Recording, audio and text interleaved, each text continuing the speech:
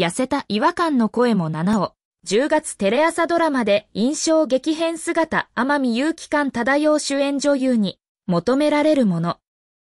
高橋文也23主演の伝説の当章が放送中のテレビ朝日系の金曜ナイトドラマ枠夜11時15分から。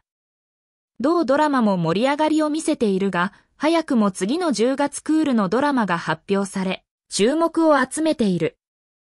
10月クールの金曜ナイトドラマ枠で放送されるのは、七尾35が主演の脱力系お仕事コメディ、無能の鷹。半崎朝美氏の同名漫画、講談社が原作の作品で、七尾は超有能そうな見た目だが、衝撃的に無能な23歳の新入社員、鷹の爪子を演じる。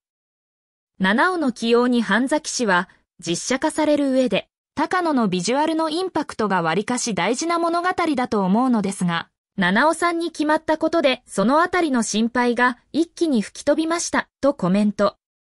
加えて、読者の間でも以前から実写化するなら七尾が良いという声は多かったため、X、旧ツイッターでは理想的なキャスティングとして話題で、七尾にやってほしすぎる漫画だったので嬉しい。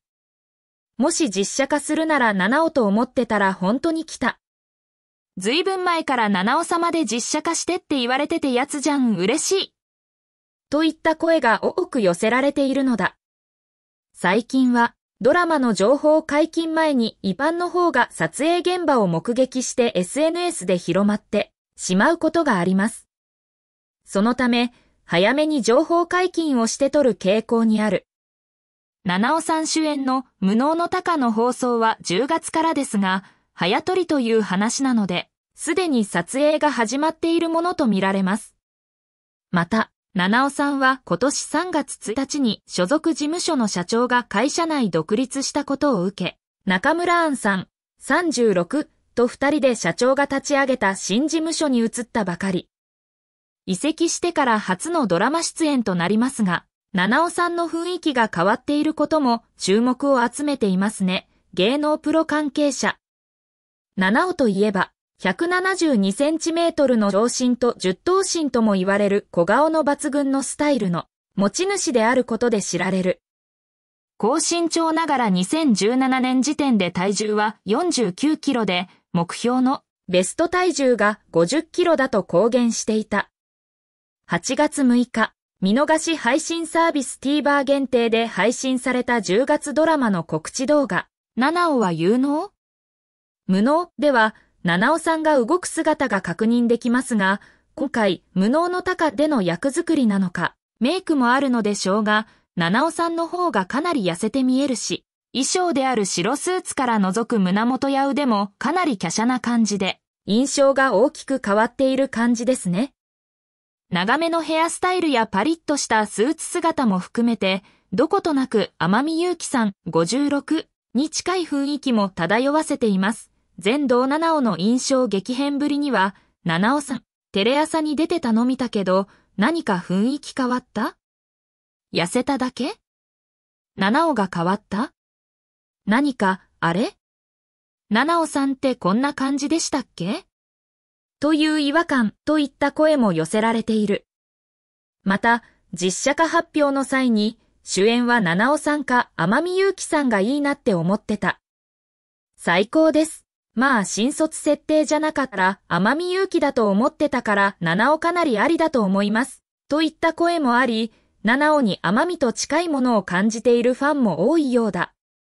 七尾さんは天海さんと同じく、身長が高くてスタイル抜群なことに加えて、凛とした良い意味で威圧感や迫力がある。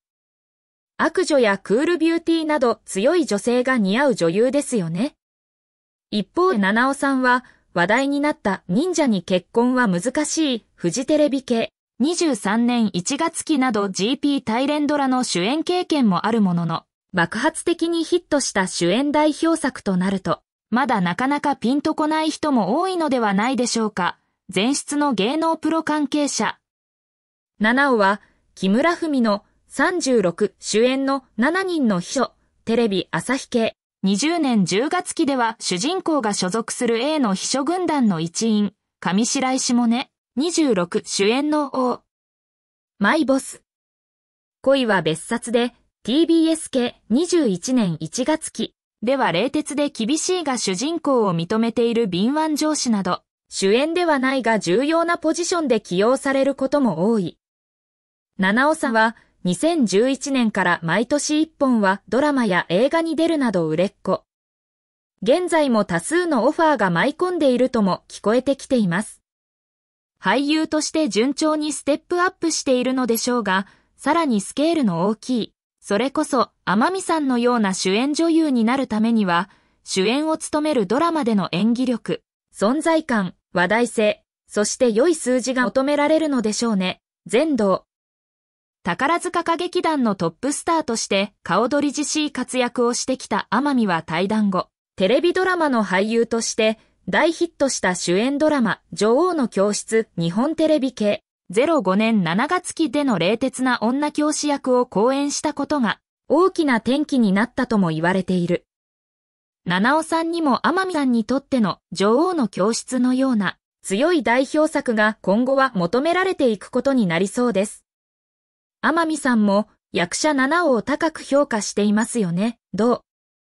七尾は21年公開の映画バイプレイヤーズもしも100人の名脇役が映画を作ったらと天海主演の連続ドラマ緊急取調べ室シリーズテレビ朝日系2014年1月期の22年新春 SP で2度天海と共演歴がある。天海さんは懐が深い上に今回の共演初日にも痩せた、と、誰も気づかないような私の変化にまでアンテナを張ってくださる方。会えると、すごく嬉しくなる存在です、七尾。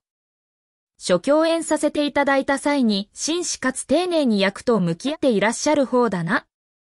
と好印象を持ちました、甘み。と、緊急取調べ室の共演発表時に、両者はコメントを寄せていた。引っ張りだこの七尾だが、今後、奄美のような大女優に進化していけるだろうか。